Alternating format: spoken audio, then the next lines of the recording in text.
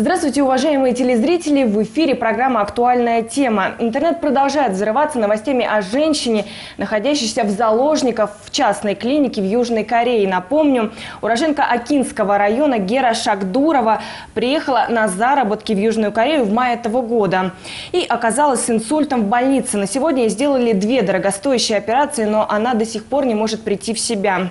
Клиника уже выставила счет в более чем 2,5 миллиона рублей. Менеджмент клиники идет на откровенный шантаж, угрожая невыдачей тела в случае смерти и неоплаты суммы долга. Что делать в такой ситуации, мы разберем сегодня с нашим гостем, генеральным директором туристической компании «Акбес Тур» Светланой Бишель. Здравствуйте, Светлана Викторовна. Ну вот расскажите, вот все-таки ваше мнение, да, клиника частная, операция дорогостоящая, а, каждая процедура стоит больших денег, да, и плюс э, у Геры Шагдуровой не была оформлена страховка. Вот что можно сегодня сделать и чем помочь, на ваш взгляд? Ну, на самом деле, самая большая ошибка э, – то, что не оформлена была страховка, медицинская страховка. Если бы была оформлена медицинская страховка, все расходы конечно, бы легли на страховую компанию, и она бы не оставила клиента без помощи. Сейчас, ну, по опыту, нужно честно сказать, что да, это расходы, получается, самого туриста. Единственное, что можно порекомендовать, это обратиться, конечно, в российское посольство а, с целью оказания помощи. Угу. Ну вот после случившегося дочь э, Геры да, Гэралма, она обратилась в консульство угу. Российской Федерации в Сеуле и совместно с консулом в адрес клиники, где лежит сейчас женщина, они, э, в общем-то, было направлено письмо о снижении размера долга. Пока ответа нет, вот здесь долг, в общем, в данном случае куда может упасть? Он может упасть на Россию или вот как может развиваться ситуация? Ну, это, конечно, долг, прежде всего, туриста, понимаете? То есть, э, если в силах помочь нашему консульству, нашему гражданину Российской Федерации, то они, конечно, максимально приложат усилия, чтобы помочь человеку. Но все материальные расходы, это на усмотрение тоже консульств. Смогут ли они это взять на себя, мне сложно здесь ответить. Но в основном, конечно, это... Ну, практика а... как показывает, что обычно происходит в таких ситуациях? Ну, за мою карьеру у нас был единственный случай в нашем агентстве, когда у нас, к сожалению, на отдыхе по Вьетнаме, по-моему, э, турист э, умер. Был такой случай. Был такой случай, но мы без страховой компании, без страховки мы клиента не отправляем и не имеем права отправлять заграничную поездку, заграничный отдых. Поэтому там страховая компания все взяла на себя, и репатрация тела была за счет страховой компании. То есть в полном размере? В да? полном размере. Угу. Ну вот скажите, а, вообще сколько стоит страховка, да, и вообще можно ли исключить историю? Я так понимаю, что нельзя. Страховку, на, на вторую часть вашего вопроса отвечу. Страховку, от страховки отказаться нельзя. Туроператор не имеет права даже при большом желании турист, даже да? при большом желании. То есть если турист заключает э, с туристическим агентством договор, а, летит через туроператора, а, туроператор обязан выдать помимо всех услуг медицинскую страховку. Это прописано в, законе. Вот. Поэтому без страховки нельзя. Только если человек самостоятельный, тогда это уже на его усмотрение. Угу. И что касается стоимости страховки, на самом деле она недорогая страховка. А, примерно доллар, доллар полтора доллара в сутки. И в зависимости от количества дней. Ну, в сутки доллар, доллар полтора. Угу.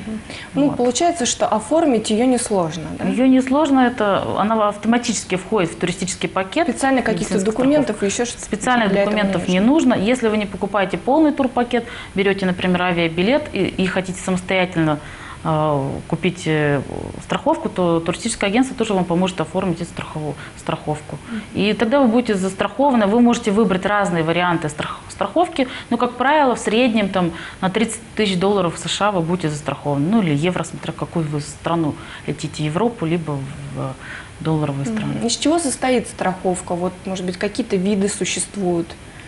А, ну, классы страховок разные, да, виды страховок, ну, от эконома там и до бизнеса и так далее. Плюс дополнительные услуги можно включить. Но самое главное, что они элементарные э, затраты будут покрывать. Это медицинская страховка, медицинские расходы, это будет э, юридическая помощь оказана клиенту в случае необходимости. Да, входит, да. Да. Это информационные расходы, такие как телефонный звонок, смс-оповещение, ну, конечно же, репатриация тела, если, не дай бог, смерть. смерть Потом э, возврат клиента, например, если остались э, дети, либо второй член семьи, если нужно вернуться, или наоборот, из э, страны постоянного пребывания вернуться, выехать в страну отдыха например, родственнику, это тоже покрывает страховая компания. Вот касательно этого конкретного случая, да, если бы страховка все-таки бы была, угу.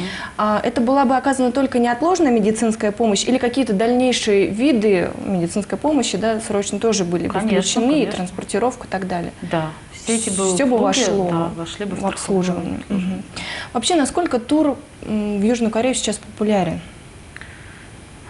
И какие, может быть, туры? Да? Медицинский туризм больше всего популярен, конечно. А, пляжный отдых а, не так, не так популярен, потому что это все-таки больше развит экскурсионный медицинский туризм. Но сейчас, ввиду кризиса, большей популярностью стали пользоваться, а, ну, не, это не туры, это просто покупка билета, и люди выезжают с целью заработка туда. Угу. Вот что касается, вернемся, мы, мы еще к этому вопросу угу. вернемся, вот медицинского направления, да, а, вот о нем немножко расскажите, что туда входит и что можно получить. Клиенту. Вы знаете, это очень хорошая, шикарная диагностика. Я сама была в марте в Сеуле, а, нас приглашала авиакомпания Korean Airlines с целью именно презентации транзитного медицинского туризма. А, был такой рекламный тур, э, где мы на себе попробовали диагностику в корейских клиниках. Было три клиники ну, ведущих. стоит того это, да? Это стоит того. А речь о каких суммах здесь идет? Вот если мы говорим о билетах, да, о непосредственно диагностике, то есть это вот порядка скольки? Диагностика, конечно, тоже зависит от того, какой вы пакет приобретете. Но минимум ну, долларов 500-600 диагностика будет стоить и выше, в зависимости от клиники, в зависимости от набора исследований, которые нужно будет провести и так и далее. стоимость билетов у нас на сегодня? Ну вот сейчас э, летом, конечно, дороже, но в среднем 17-20 тысяч в одну сторону. Такой, такой тур будет да. стоить, да? Вообще, как считаете, почему так э, популярно стало ездить в Корею? Именно вот как раз-таки из-за медицин, медицинского направления, да, или кто туда едет сегодня? Э, одна часть туристов, которая едет именно с экскурсионной целью и медици... за медицинским туризмом, и вторая часть населения, которые едут именно для заработка. К ну, сожалению, правило, вторых становится больше. Все больше да, становится. Потому что дол доллар вырос, э, кризис продолжается, и поэтому получается, что гораздо выгоднее получить заработную плату в долларах, чем у нас здесь в России. А поэтому... уехать как проще? Ну, все улетают основном летят. Легально, нелегально? Ну как, э, турист покупает, пассажир покупает билет, отказать в этом мы не можем, не имеем права. А там с какой целью летят, э, ну, Никто не говорит, с какой целью. Ну, в случае, если это нелегальное, угу. вот с целью заработка, да, угу. в Южную Корею. Здесь какие основные трудности возникают и э, как сложно вообще оформить, что нужно, чтобы уехать нелегально? На самом деле человеку-то нужно просто приобрести авиабилет. А вот пропустят его на границе или нет, это уже э, самый главный вопрос. То есть его могут отказать во въезде. Так страна безвизовая, визу оформлять не нужно. У человека должен быть, по идее, на руках только авиабилет. Если он летит по турпакету, то у него будут все документы. Это медицинская страховка, это ваучер на размещение а, в гостинице, на трансфер, на встречу провода. Такого клиента, конечно, который летит по турпакету, его, конечно, 100% пропустят. А те люди, которые летят просто с одним авиабилетом или даже с обратным авиабилетом, как часто у нас делают, а, ну, тут 50 на 50 пропустит или нет, этот риск э, берет человек сам на себя. То есть он туда прилетает, его могут не пропустить, да. он возвращается за свой счет обратно? Да, конечно. Да? А какие причины могут быть, вот, если его не пропускают? Ну, без объяснений причин могут просто клиенту отказать все. И, не понравился, какие-то проверяют все равно людей. То есть молодежь часто отказывают, мужчинам, потому что все видят, что летят на заработки. Но это очень популярно сейчас, очень угу. распространено в последнее время нелегально зарабатывать там, да? да? Вот здесь речь тоже о каких суммах идет заработка в месяц? Стоит ли это того? Тоже зависит от того, на какую работу устроится человек. Ну, ну от, в среднем. В среднем от 60 до 100 тысяч в месяц человек может зарабатывать. Конечно, для нашего региона это очень хорошая зарплата. А какие вот в основном, не знаю, виды заработка может быть, да? То есть кем там можно устроиться, чтобы получать такие деньги? Сложно мне сказать, я там сама не работала. Ну, и, и на стройке работают, и в полях работают, и уборщицами работают. Такой тяжелый Тяжелый физический- физический труд, да. Это нужно сразу сказать, что люди летят без страховки и на тяжелые условия работы, где они с утра до вечера работают. И как долго можно там находиться, работать, если безвизовый режим? Ну, до месяца. До месяца. Мгм. Если вообще говорить о турах, направлениях, э, то клиенты какие сейчас выбирают, да, и вообще говорить, если о цифрах, о динамике вот выездного туризма, какова она на сегодня? А, Я хочу сказать тогда о своем личном агентстве, Да, потому что конечно. сложно сказать, как у других Ваша практика, да? да, стоят дела. В этом году мы должны отметить, что выездной туризм даже у нас в плюсе. То есть э, процентов на 10 рост есть. Но, тем не менее, нужно отметить, что перераспределились потоки. Мгм. То есть часть клиентов, которая привыкла за рубежом отдыхать, все-таки переориентировалась на российский внутренний туризм. Это и Сочи, это и Крым, и Анапа и так далее. Э, Санкт-Петербург очень популярен в этом году, этим летом. А если говорить э, о наших стандартных турах, то это прежде всего Юго-Восточная Азия. Сейчас очень популярен Вьетнам, сейчас там сезон. Таиланд, несмотря на сезон дождей, все равно люди едут, потому что близко от нас, потому что разница во времени хорошая, а, относительно недорого. Вот и часть клиентов, которые летят э, в Европу. Вот, вот что касается Европы, нужно отметить все равно снижение экскурсионных туров в Европу. Это, конечно, и сказалось э, рост евро и неблагополучная ситуация с беженцами. А Вот. вот вообще общее количество клиентов снизилось? На каком уровне сейчас? Если бы мы говорили с вами о прошлом, в прошлом году, то да, нужно было бы отметить, что было понижение, а в этом году рост. В этом году рост. Мгм. Ну, давайте вернемся еще вот э, к случаю, да, который сегодня рассматриваем. Вот какие еще подводные камни могут быть? да, за границей, вот не оформлена страховка, вот такой может случиться, да, несчастный случай и, в общем-то, без помощи. Вот что еще? Это, наверное, самое главное.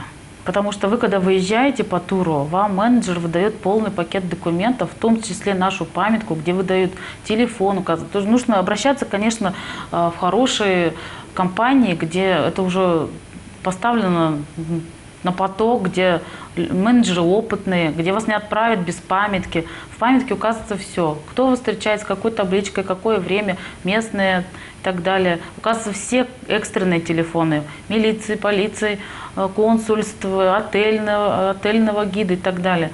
То есть человек, в принципе, наши все телефоны, вплоть до сотовых менеджера, для того, чтобы человеку было спокойно. Хорошо, а в этой ситуации, да, как узнать, э, хорошая компания или нет? Как ориентироваться? Ну, наверное, Как выбирать? один из э, Критерии. Один из критериев это, наверное, отзывы туристов, ваших друзей. Не знаю, посмотрите в интернете, сколько компания находится на рынке туризма. То есть, чтобы вы не наткнулись на однодневку, компанию однодневку. Если это туроператор, то мы все входим в реестр туроператоров. То есть внутреннего, выездного туризма, въездного, но мы все входим в реестр туроператоров. Э, Вы можете зайти на сайт Russia Tourism, э, забить э, название компании, какую вы собираетесь посетить, и увидеть, что есть это, входит эта компания в реестр туроператоров или нет. Ясно. Светлана, спасибо вам за ваше мнение, что пришли к нам сегодня в студию, прокомментировали всю ситуацию. Я напомню, что в гостях у нас сегодня был генеральный директор туристической компании «Акбес Тур» Светлана Вишель. А мы заканчиваем на этом все. До свидания. До свидания.